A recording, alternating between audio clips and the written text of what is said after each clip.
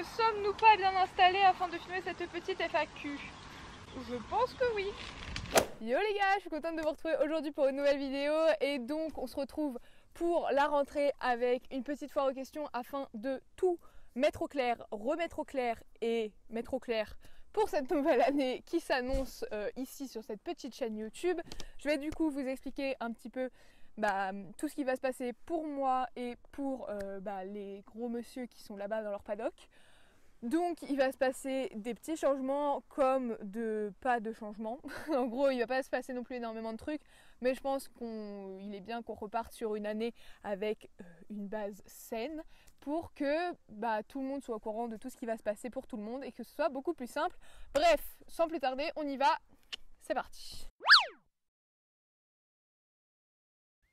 Bon, la première question qui revient le plus, c'est de savoir ce que moi je vais faire cette année.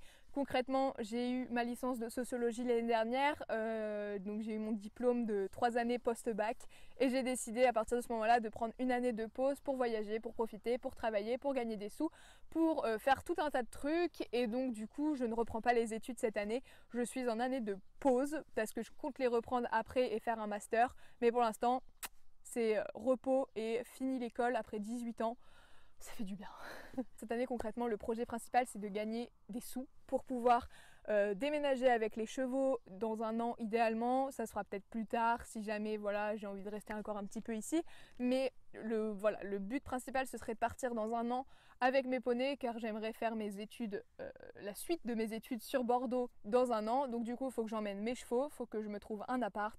Et donc pour ça, il faut des petits sous parce que même si là, financièrement, j'assume moi-même les poneys, je m'assume pas moi-même puisque j'habite chez mon papa, donc je n'ai pas de loyer à payer.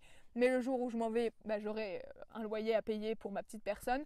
Donc il me faut des sous de côté parce que si je reprends les études en master, je suis pas sûre d'avoir le temps de travailler à côté. Donc idéalement, il faut que j'ai des sous de côté pour pouvoir assumer tout ça. Donc c'est pour ça que je travaille cette année.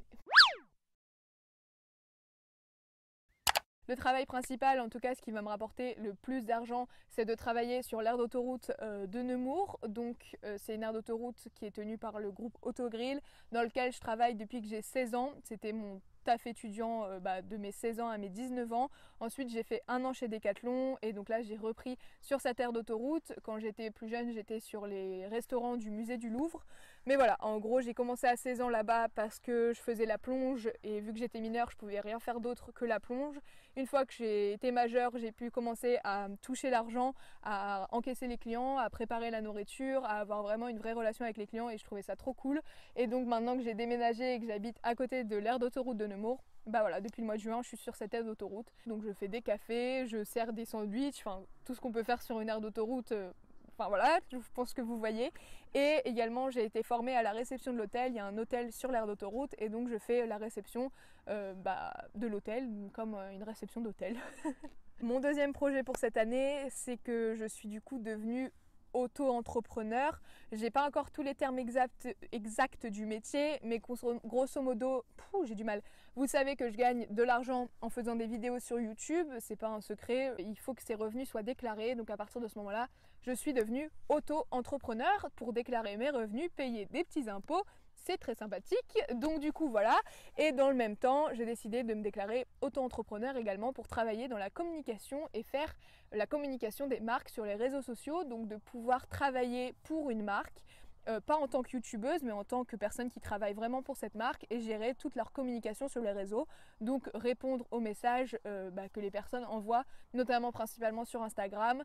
Euh, je, gère également euh, bah, les réseaux de quelques marques d'équitation et ça me fait trop plaisir et c'est une opportunité de ouf que j'ai grâce à YouTube. Et voilà et euh, dans le même temps c'est également ce que je veux faire dans ma vie future. Donc euh, c'est plutôt chouette c'est vraiment une opportunité de ouf. Mais voilà c'est vraiment vraiment trop trop cool et, à partir de ce moment là j'ai envie de reprendre mes études l'année prochaine pour bah, en plus de l'expérience que je vais prendre cette année en faisant ça déjà avoir les études complémentaires et pouvoir faire ça toute ma life. C'est vraiment le gros projet. Voilà, je n'ai pas envie de faire youtubeuse toute ma vie. Donc du coup, je pense qu'à mon niveau, c'est assez clair. Euh, voilà, je passe l'année à travailler sur l'aire d'autoroute, pour YouTube et en community management. C'est vraiment euh, voilà l'année où je vais profiter, faire des sous, J'aimerais également beaucoup voyager. J'ai plein d'amis qui partent à l'étranger, qui font comme moi une année de pause et qui s'en vont. Euh, donc vraiment, j'ai trop envie d'aller les voir dans leur pays dans lequel elles vont être, voyager, profiter, faire des concours avec mes poneys et euh, voilà, ça va être trop cool et c'est une bonne année qui s'annonce. J'espère qu'on ira jusqu'au bout, mais euh, on croise les doigts. On arrive à la partie la plus intéressante, celle des poneys. Et donc la question qui revient le plus, oui, j'ai craqué, on retournera à la mode cette année. Euh, voilà, j'ai vraiment envie de nous donner une seconde chance sur ce concours. Euh, j'ai vraiment envie d'y retourner. C'était vraiment trop bien. J'ai envie de refaire une semaine comme ça avec mes potes. C'était génial. Donc oui, on y retournera. On retourne dans la même épreuve, donc en CCE Club 2, euh, qui, passe, qui devient la Club 1 parce qu'ils ont changé les noms, mais euh, ça restera les hauteurs de la Club 2, donc 80 cm et la même reprise de dressage, il n'y a rien qui change pour nous. Mais voilà, on, reste dans la même épreuve parce que je pense qu'on a encore plein de trucs à apprendre, qu'on n'est pas parfait sur le dressage et je préfère faire une saison limite parfaite, même si ce sera pas parfait bien évidemment, on se comprend, mais vraiment une saison dans laquelle on est bon plutôt que passer au niveau au-dessus pour dire juste de sauter plus haut et de faire un peu plus les beaux gosses, mais j'y vois pas l'intérêt si c'est pour ne pas réussir. J'ai vraiment envie de mettre mon poney en avant et de bah de faire des beaux trucs, de faire des beaux concours, d'essayer de faire des beaux classements et c'est vraiment l'objectif. Voilà, voilou pour la question de la motte. Nous retournons à la motte l'année prochaine en CCE Club 2, enfin qui s'appelle Club 1 maintenant, mais euh, en gros c'est ça. Concernant mon petit Sangoku, et euh, eh ben écoutez déjà la super bonne nouvelle c'est qu'il est gros, mais il est gros et qu'il a vraiment bien repris et ça c'est trop bien. Euh, c'est vraiment un soulagement de pouvoir recommencer cette année sur des bases parfaitement saines avec lui, où le poney va parfaitement bien. Et donc là vraiment euh, il va trop bien, il est gros comme je ne sais pas quoi, il a l'appétit de fou, il pète le feu, il est en pleine forme, enfin bref, ça me fait trop trop plaisir et ça c'est trop bien. Donc voilà, Sangoku va bien. Donc du coup, euh, vu que maintenant il est bien gros, c'est le moment de vraiment vraiment le remettre bien au travail et de bien le remuscler parce que bah, ça manque de muscles du coup. Donc euh, je vais le travailler à la longe, euh, à la fin, pas à la longe, aux longues graines, parce que la longe ça lui plaît pas apparemment, donc on va faire des longues graines, ça ça lui plaît. Idéalement l'objectif ce serait à terme de finir par le mettre à l'attelage parce que j'aimerais trop faire de l'attelage avec lui. Voilà, les longues graines ça passe bien, il aime bien ça. Et là on arrive à la question fatidique de Léa, qu'est-ce qu'elle va faire? Alors Léa, donc je ne parle pas de moi, je parle de ma petite voisine qui monte Sangoku que vous avez déjà vu plusieurs fois dans les vidéos. Donc Léa, elle va continuer de monter Sangoku, elle va continuer d'apprendre à faire du poney avec Sangoku, mais elle ne sortira pas en concours avec Sangoku. Je m'explique, euh, Sangoku est un poney qui euh, ne saute pas. Voilà, il n'aime pas sauter. Je l'ai vu sauter correctement une seule fois un obstacle. Euh, il n'aime pas ça. Il s'arrête devant, que ce soit à pied ou à poney c'est pas fait pour lui vraiment et j'ai pas envie de le forcer. Le dressage, qu'on se le dise, Léa n'a pas le niveau pour sortir en dressage même dans la plus petite épreuve. Et participer à nouveau à la mode avec Sangoku, ce ne sera pas possible parce que Léa va avoir 7 ans et le mini open est réservé aux cavaliers jusqu'à 6 ans. Donc concrètement, Léa, Sangoku, les compétitions, c'est pas possible. Mais il n'est pas exclu que Léa fasse un petit concours avec Soleil. Je m'explique, en gros, euh, Soleil a été poney de Poney Club pendant 3 ans quand je l'ai mis au père. Il a euh, été adorable avec les enfants.